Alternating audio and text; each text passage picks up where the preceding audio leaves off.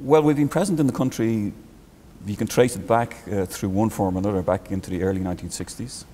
Um, very many different guises. Um, we've had a number of different activities in Ireland down through all of those years. But yeah, through it all, fundamentally, um, uh, we service an Irish market.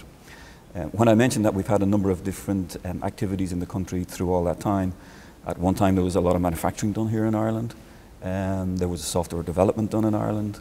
Uh, nowadays, we're focusing much more on the research labs through uh, Bell Labs and the activities that Bell Labs are doing. Um, the core of it all and the heart of it all through that time um, has been uh, our local service to local customers.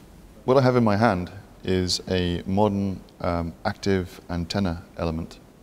Um, it can be composed into an array. Um, and this, believe it or not, um, is the modern equivalent of something like this. Um, there's a, a, good number of years in between the two. the difference is that uh, while this antenna had passive components, uh, this one has active components in it. Um, it's a technology which was initially developed uh, in the 1960s and 70s for military use. Um, the biggest problem that we had with it, of course, um, is cost. Um, what the researchers here in Ireland have done is managed to solve that cost problem um, and also to miniaturize it down to a point where it looks very much like a very nice Rubik's Cube uh, in silver. Um, the, the whole point behind uh, this kind of approach, and this is why I love this kind of invention, is that it can be something that stands by itself. So I can put this anywhere in the street, street level, something like that. Or I can compose them into uh, a very big array. We can compose these into an array.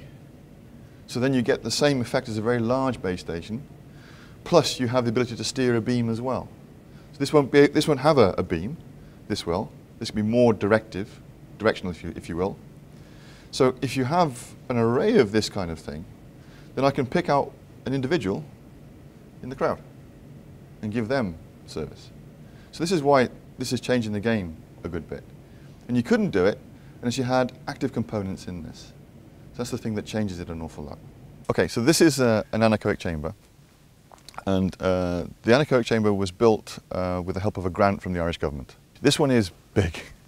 Um, the nice thing about it is, as you are on the camera, the, the cameraman will obviously hear this, and so will the journalist sitting next to the cameraman, that it's quiet. It's very quiet, right? If we don't say anything, it's kind of spooky. Okay? And the reason why it needs to be quiet is that any kind of wave in here needs to be absorbed so we can actually measure what the profile is of that in fact, anything that this guy invents, basically.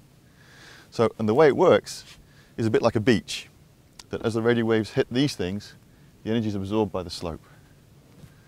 If you have something that you want to measure up here on this on this tower, on this white on the white column up there, and uh, the sensor is this uh, tube sticking out here. So the only way of transferring energy between the two points, transferring a signal, is the direct line because there is no there is no reflection, there is no echo that comes from different ways, as it would be usually if this would be an if this would be not absorbing. So basically, this is a simulation of open space, of an infinite open space. So there's only one way of transporting energy between this device and this device. It's the direct line. And this yeah. is what we want. We want to measure the direct line. And when you have the direct line in this artificial environment, you can easily calculate how it behaves in any other environment. Which is crucial.